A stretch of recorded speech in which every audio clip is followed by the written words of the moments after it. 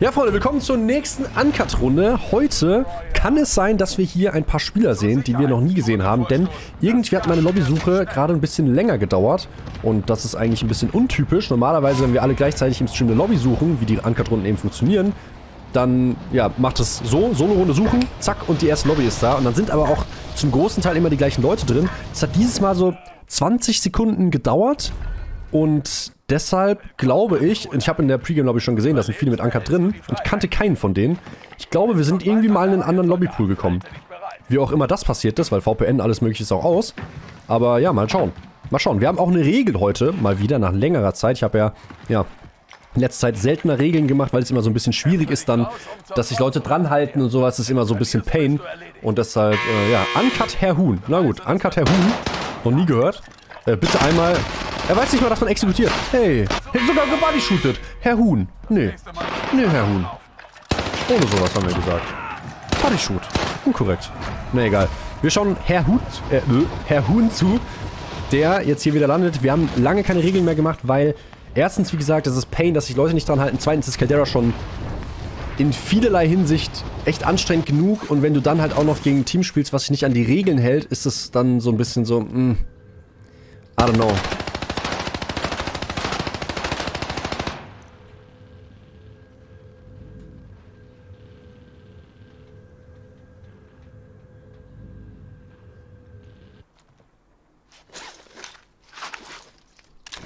Okay, Herr Huhn hatte ähm, einen Anfall und äh, ist nicht mehr in der Lobby. Memento Mori mit Level 446. Heilige Scheiße, Digga. Ich bin Level 323.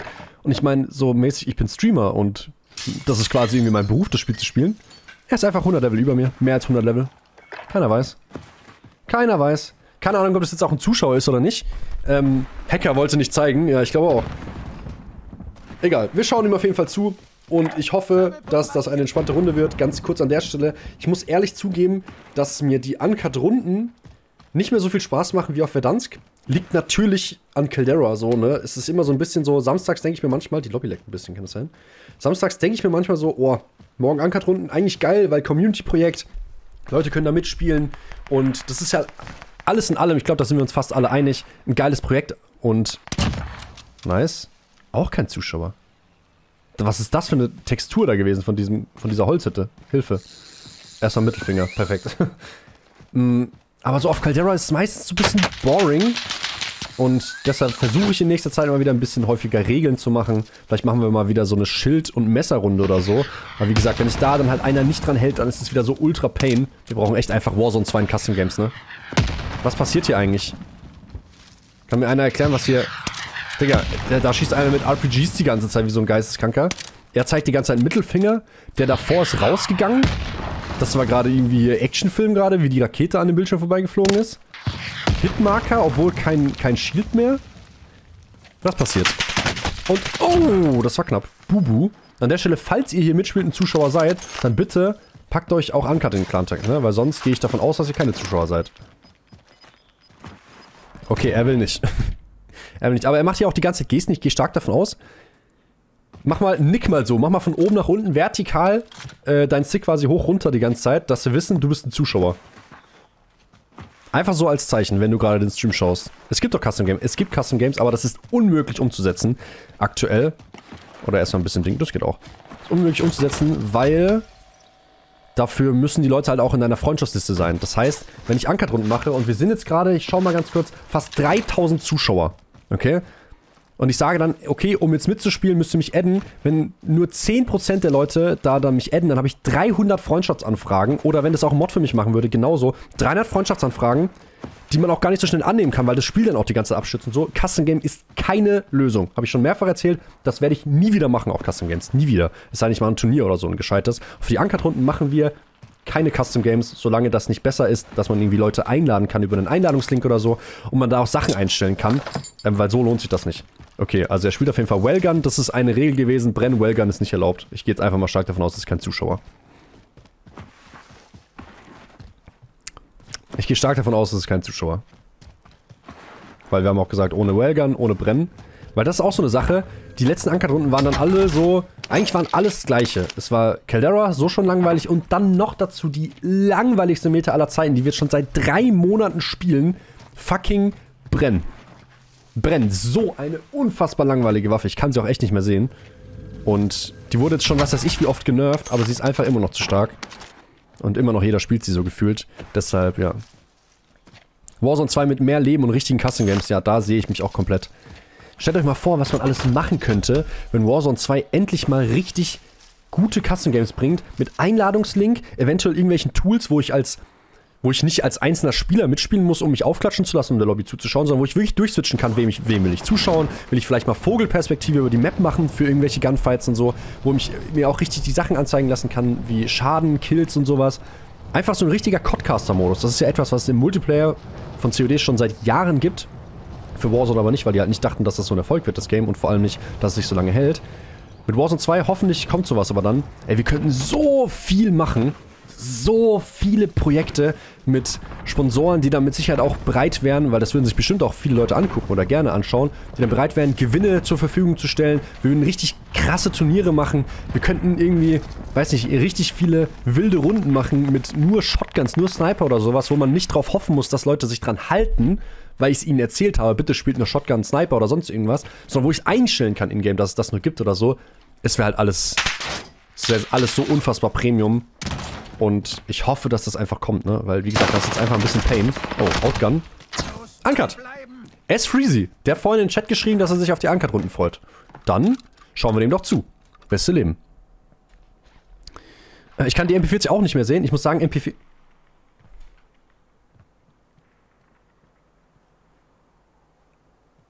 Hä? Warum schauen wir ihm jetzt zu? Danny Boy?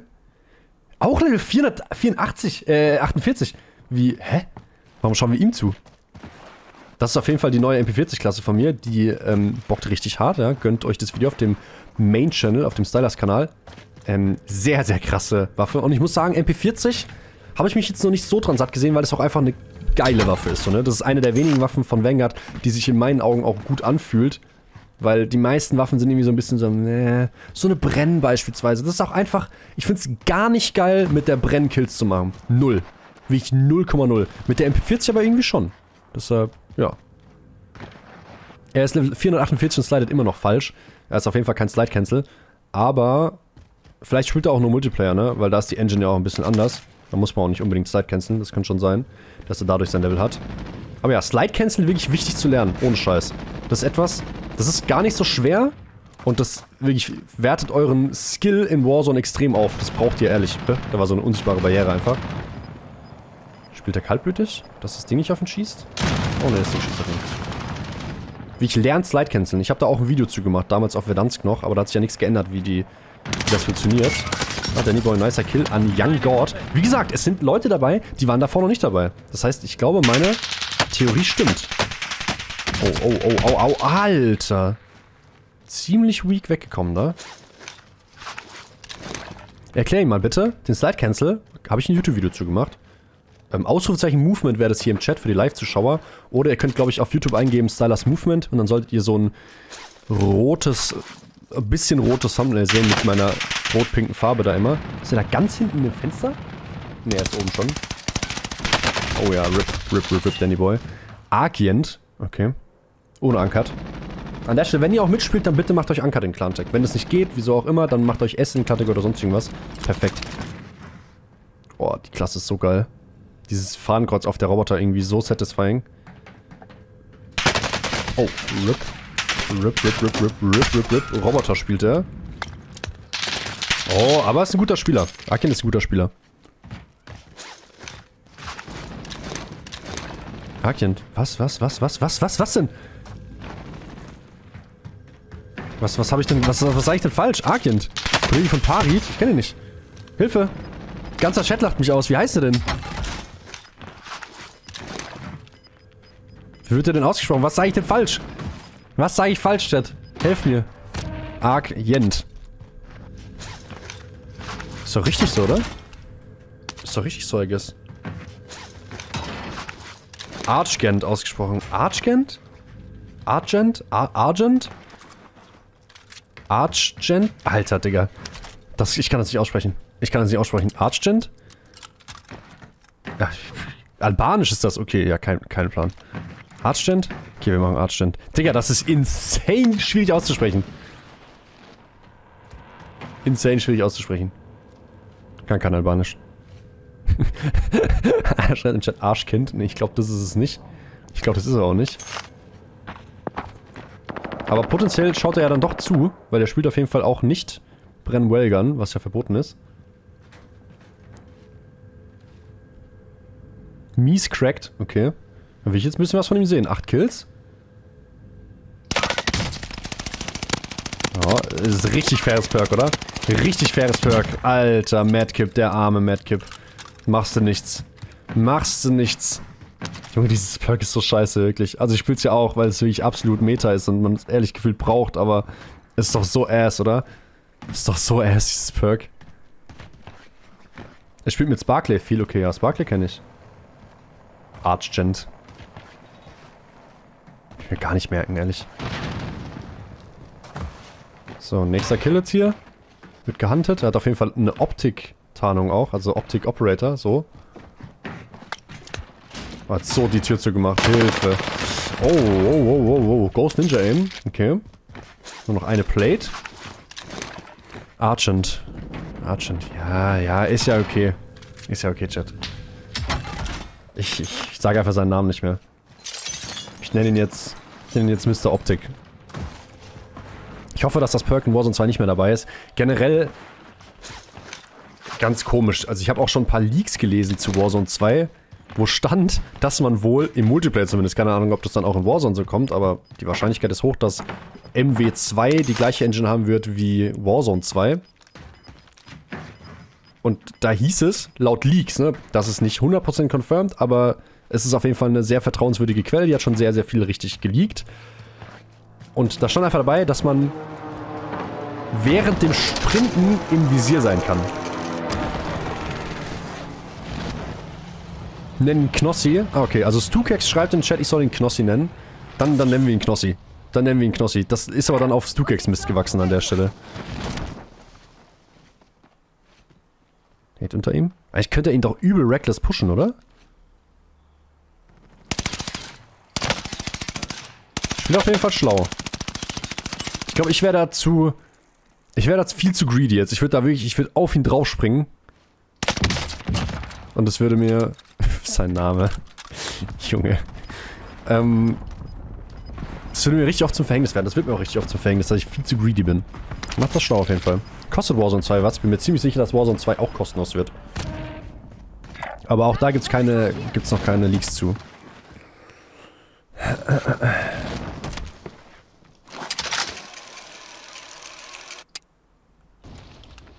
Wurde von einem Level 600er plus gebaitet. Das ist scheiße.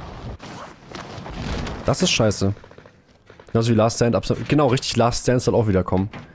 Für die Leute, die damals kein COD gespielt haben, das war einfach so ein, so ein Perk. Das gab es in Black Ops 1 sogar echt als Perk, ne?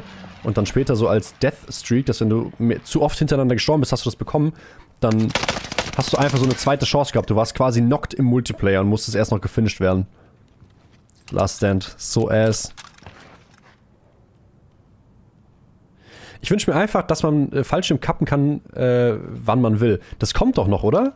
Das müsste jetzt eigentlich... Oder warte mal. Gab es das mit Season Update eigentlich schon? Von Season 2? Nee, ne?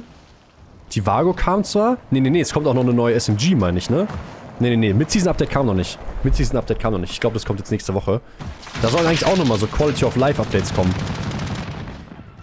Maybe, also ich habe gelesen eigentlich, dass das hätte schon im ersten Update dabei sein sollen, mit dem, dass du überall Fallschirm kappen kannst. Was doch übrigens absolut wichtig ist, dass das passiert. Ähm ja, das sollte jetzt dann mit dem Mid-Season-Update kommen. Wird die Vago eigentlich noch gefixt? Das ist eine Frage.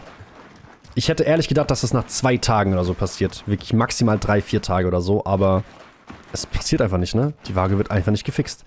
Man kann immer noch nicht die Variante aus dem Shop, die die perfekten Aufsätze hat, spielen. Spawns einfach immer noch mit nichts in der Hand dann. Und die Nachladeanimationen sind immer noch so verbuggt, dass die Animation schon vorbei ist, die Munition aber noch nicht drin ist. Du quasi nicht direkt weitersprinten kannst. Vago ist so nice. Ja, Vago ist vor allem halt so eine geile Waffe. Umso nerviger halt, dass... Oh mein Gott, da kommt er nicht hoch, ne? Oh, Caldera, so ass, so ass, so ass, Hilfe. Er hat noch eine Stim. Ich glaube, die hätte ich eher deutlich später geused sogar.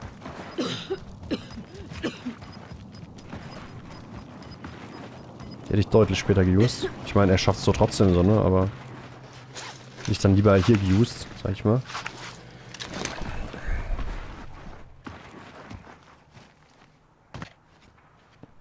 Ja, wir sind gespannt.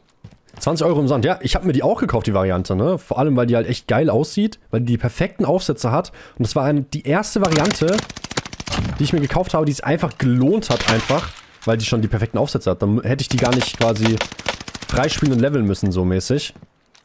Aber man konnte sie einfach nicht spielen. Und sie ist auch immer noch im Shop erhältlich, jeder, der sie kauft. Sie wird auch nicht rausgenommen aus dem Shop. Das ist ehrlich frech, muss man sagen. Muss man sagen, wie es ist, ist ehrlich frech. Er kriegt auch echt geile Kills da, ne? Wieder schöner Name da. Nicht schöner Name, ne? Wir distanzieren uns natürlich davon, ne? Wichtig und richtig. Was ist der Gegner hier? Schöne Shots auf jeden Fall mit der Roboter.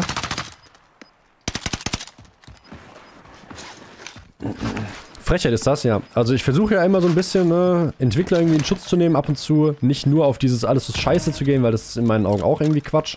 Letztendlich ist Warzone immer noch kostenlos und eigentlich vom Grundprinzip so richtig geil, so, ne, man kann Fehler verzeihen, aber das ist wirklich, wirklich Quatsch, dass diese Variante nicht funktioniert. Und dass sie die auch nicht aus dem Shop nehmen oder so dann, ne? Es können immer noch einfach Leute Geld dafür ausgeben und bekommen sie dann nicht. Ist Team 2 bei Ruinen. Okay, das ist eklig. Dann Arch bitte einmal töten. Ne, äh, Knossi natürlich, sorry. Knossi. Kann man mit Passive Card in Warzone bezahlen? Keine Ahnung. Keine Ahnung, kann ich hier nicht beantworten. Wir schauen jetzt ihm schon eine ganze Weile zu, ne? Muss man sagen. Bitte nächste Runde ankert in Clantech. Cooper darf man, oder? Ja, ja, Cooper ist erlaubt. Nur Brennen und Wellgun nicht. Ich glaube, 95% des Teams sitzen an Warzone 2. Habe ich auch schon gesagt, ja.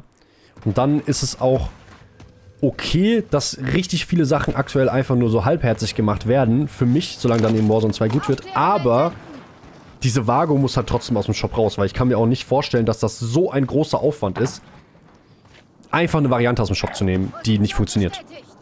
Deshalb, ja. Die Schüsse sitzen mir ein bisschen zu perfekt. Hm, nee, nee, nee, Marki. Nee, nee, nee, nee, nee. Die sitzen auf jeden Fall nicht zu perfekt. Arch hat auf jeden Fall nicht an. Das auf jeden Fall nicht. Die Schüsse sitzen mir ein bisschen zu perfekt. Nee, nee, nee. Muss man Warzone 2 neu installieren oder ist das einfach ein Update für Warzone? Man, also es wird ein komplett anderes Spiel sein. Komplett anderes Spiel. Es wird ja dann auch so sein, da wird es keine Cold War, MW oder Vanguard-Waffen geben, sondern es wird ein komplett neues Spiel sein und das ist auch richtig so in meinen Augen. Man kann dann natürlich immer noch die gekauften Sachen, so eine Kilo mit Tracer, wenn ihr euch da mal eine geholt habt oder so, kann man immer noch spielen, aber halt dann in Warzone, nicht in Warzone 2. Es sind verschiedene Spiele dann. Ich weiß nicht, wann Warzone 2 kommt. Es gibt kein hundertprozentiges Datum. Ich glaube, irgendwas ist im Raum mit nächstes Jahr März, dann wann halt eben ja, Warzone rauskam auch. Warzone wird eventuell so gemacht, dass es genau zwei Jahre alt, nee, drei Jahre alt wird, ne? Holy shit, Digga. Drei Jahre alt, Hilfe. Ist ja jetzt aktuell vor ein paar Tagen äh, zwei Jahre alt geworden. Oder Ende des Jahres, keine Ahnung. Sinnvoller für die wäre es auf jeden Fall Ende des Jahres, weil je länger die jetzt halt hier Caldera und diesen Schutz, sag ich mal, am Laufen lassen, desto weniger Leute werden dann auch noch Bock haben oder hyped sein auf Warzone 2. Aber wir lassen uns überraschen. Wird unsere KD gleich bleiben? Ne, wie gesagt, ich bin mir ziemlich sicher, das wird ein ganz neues Spiel. Warzone 2 einfach. Nicht mehr dieses Jahr. Wäre cool, also ich würde mich übel freuen, wenn MW2 Ende dieses Jahres rauskommt und einen Monat später direkt, wie jetzt mit der Integration von Caldera und so und Vanguard, wenn dann direkt Warzone 2 auch kommen würde, aber ich kann mir schon vorstellen, dass sie das ein bisschen später machen wollen, damit die erstmal die ganzen Sales von MW2 mitnehmen und dann, oh, Munition, und dann Warzone 2 releasen. Weil es natürlich auch marketingtechnisch gesehen unschlau, alles direkt aufeinander und gleichzeitig zu releasen. Du willst ja Hype aufbauen und auch Sales pushen und alles mögliche. Deshalb ja, wird das wahrscheinlich eher März werden, realistisch gesehen. Oh mein Gott, Calmax, Hilfe. Hilfe, Hilfe, Hilfe. Aber auch kein Anker im Clan-Tag. Wahrscheinlich auf jeden Fall ein Geek zu sein. Oha. Cytec, Bro, nicht mal Basti hat Anker im Clan-Tag. Ich glaube, Basti hat sich rausgedrückt für äh, die Killcam. Weil das sah sehr, ähm, nicht sass aus, aber er ist auf jeden Fall ein guter Spieler. Level 619. Calmax, Hashtag 1106672. Ich sag, er hat eine 4er KD oder so. Ne, 2,6er. Nur in Anführungszeichen. Ja, die letzten sieben Tage 3er KD. Ja, nee, hat nicht an. Hat nicht an. Dann war es wirklich nur starke Shots. Ja, 620 auch, ne? Hilfe. Wie macht man Clan-Tag bei Quartiere? Dossier oder so? Oh, ich weiß gerade gar nicht 100%. Aber spielt auch keine verbotenen Waffen, also vielleicht auch Zuschauer, aber irgendwie alle, alle ohne Uncut im Clan-Tag. Das ist wichtig, ne? Wenn ihr mitspielen wollt, dann macht euch Uncut den Clan-Tag, weil sonst denke ich, ihr seid halt keine Zuschauer so. Stim it in.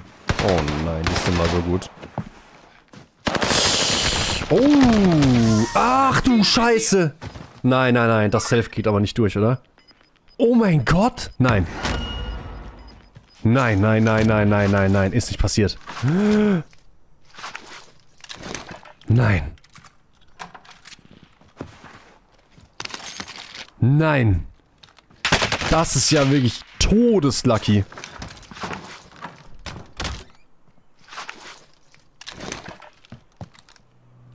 Keine Ahnung, von wo er geschossen hat. Ah, da im Fenster.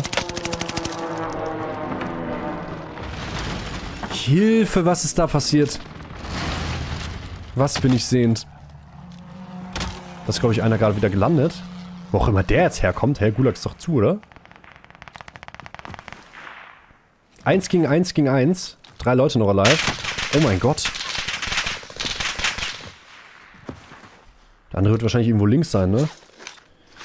Quartiere dann personalisieren, dann eigener Clan-Tag. Okay, also das hier war falsch. Oh, mounted. Aber nur eine Platte weggeschossen. Muss ich auf jeden Fall Platten wiederholen? Nee. Das ist auch eine Sache. Ich glaube, du kannst aus Plattensäcken am Boden auch Platten rausnehmen dann. Ich glaube, das kommt auch mit Mid-Season-Update, ja. Oh, so lucky, die zwei Platten da zu finden. Ich würde aber keine reinmachen jetzt. Für das bisschen. Stim auch wichtig.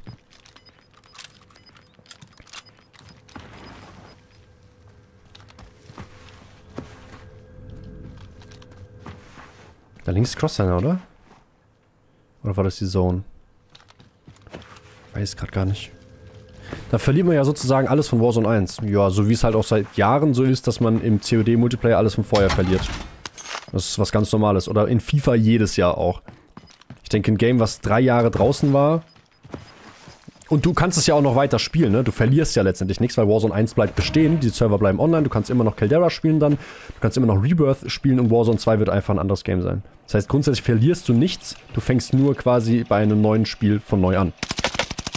Seine Cooper triggert so, ich finde die Cooper auch schrecklich, ne? Ganz komisches Magazin da drauf. Oder Lauf oder sowas, weiß ich, auf jeden Fall voll die niedrige Feuerrate.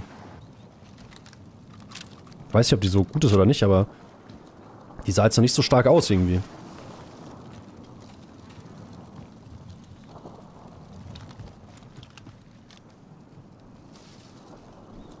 Also hier war ich auch noch nie. Hier in dieser kleinen Kuhle, wo die Kiste da auch gerade rechts ist, da war ich noch nie. Er hat einfach eine Cooper mit Recoil, das geht eigentlich gar nicht. oh. Oh, oh, Big Baba Posi. Oh. Oh, oh, oh, oh, oh, oh, das reicht nicht. Aber niemand hat die Anker im Clan-Tag. Ich weiß jetzt gar nicht, ob das Zuschauer waren oder nicht. Oh, das hätte er aber da nicht so... Das hätte er da nicht so aggressiv spielen müssen, Kelmix. Da hat er die vorigen Plays waren stärker. Ist das Magazin. Ah, okay. Die vorigen Plays waren stärker, aber hier sind einige drin mit Uncut. Dinkel Commander, nein. Guck mal, wie viele Uncuts hier drin sind. Eigentlich Feini auch. Aber wir haben irgendwie keinen zugeschaut, so gefühlt, ne? Wir haben gefühlt keinen zugeschaut. Ganz, ganz seltsame Lobby. Ganz, ganz seltsame Lobby. Aber egal, GG's. Einer der Teamer hat gewonnen. Och nö. Och nö. Och nö. Och nö. Nein, hat da jemand John Cena Musik?